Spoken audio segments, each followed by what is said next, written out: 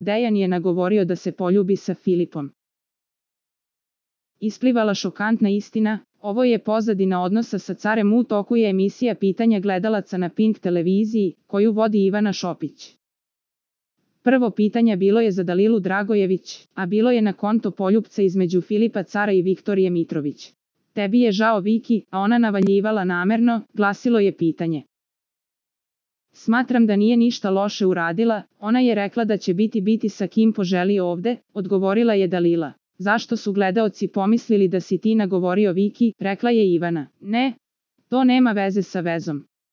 Ako će gledaocima biti lakše da veruju u to, neka veruju, rekao je Dejan Dragojević. Meni je ovo smešno, ja sam Dejanom nemam neku komunikaciju.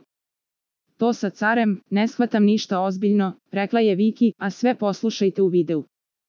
Za najnovije vesti iz realitija estrade kliknite subscribe like i zvonce. Svaki dan najnovije vesti zato nas zapratite.